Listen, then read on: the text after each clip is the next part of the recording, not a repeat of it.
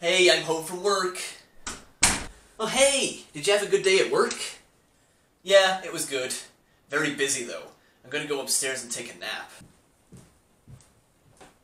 Hey, whoa! Take those damn shoes off!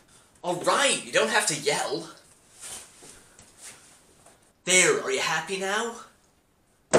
Yeah, and maybe when you take that nap you'll gain some manners.